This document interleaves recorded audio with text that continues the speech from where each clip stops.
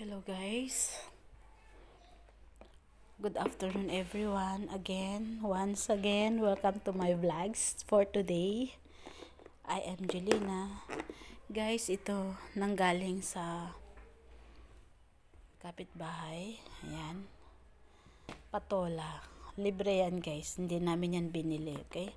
And ito naman po, kararating ng asawa ko, pumunta doon sa bahay ng biyanan ko, nagluto siya ng pato o ng uh, adobong duck o pato. Adobong pato yan guys.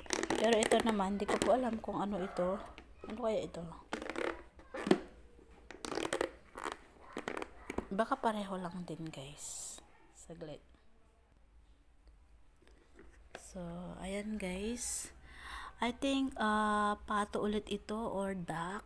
Pero niluto niya ito sa black beans guys. So, ito naman yung adobo guys. Okay, adobo. Ayan guys. So, ulam, magiging ulam namin yan mamayang gabi guys. Kasi kaninang tanghali hindi ako nagluto. Ayan, libre. Patola ulit, okay? So, kaninang tanghali, nag-ulam lang ako ng salad na talbos ng kamote o sweet potato leaves. Yan, my favorite one, guys. Favorite ko yung uh, uh, talbos ng kamote, guys. Nilagyan ko siya ng kamatis at saka uh, alamang. So, ito, hindi na ako magluluto ng aming pa, pang dinner. Magluluto na lang ako ng rice, guys. Yan. Sarap, diba? Hmm. Ayan guys, uh, magaling magluto yung asawa ko guys ng Filipino food.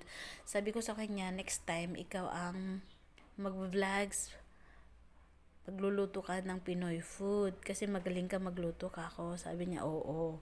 So, hindi pa sa ngayon guys kasi uh, wala pang masyadong budget. O di kaya naman, nag-iingat kami na kumain ng ng mga nabibili sa labas na mga karne kasi nga 'di ba parang may may naririnig kaming virus na naman ng uh, baboy ayan eh may baboy kaming tatlo pa na inaalagaan so ayan nag-ingat lang kami guys. So, ito guys, maraming maraming salamat po sa panonood. Ayan, just share our blessings to you. Ayan, bye everyone.